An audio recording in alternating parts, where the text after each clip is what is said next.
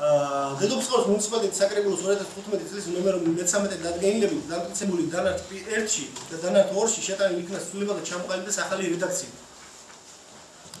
აა დედოფლისწყლის მუნიციპალიტეტის ტერიტორიაზე რეგისტრირებული ფაქტობრივად ცხოვრობენ მოქალაქეების 2015 წლის მინიმალური სოციალური დახმარებისა და დემოგრაფიული მდგომარეობის გაუმჯობესების ღონისძიების 2015 წლის პროგრამა დანარჩ 1 და პროგრამის ბიუჯეტი დანარჩ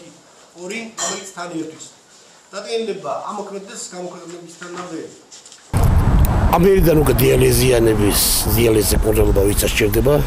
ვისაც სჭირდება, ისინი მათ აღონაზღაურებს ჩვენ ტრანსპორტირების ხარს, გადაადგილების ხარს, თვეში 100 ლარი დაფინანსდება ყველა.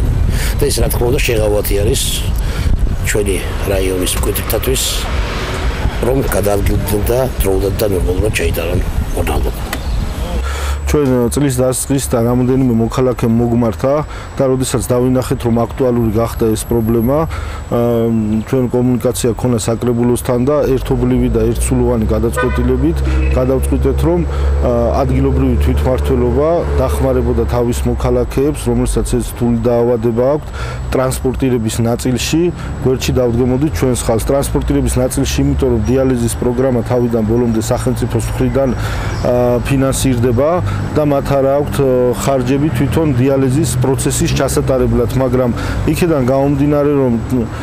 პაციენტებს ზოგჯერ ორჯერ და ზოგჯერ სამჯერ კვირაში უწევთ თბილისში ან გურჯაანში ჩასვლა, რათა მოახდინონ კურნალობა და ეს პროცესი ჩაატარონ, ჩვენ გადავწყვიტეთ რომ ყოველთვიურად ასეთ პაციენტებს შესაბამისი დოკუმენტაციის წარმოქმნის შემთხვევაში დავეხმაროთ 100 ლარით, რაც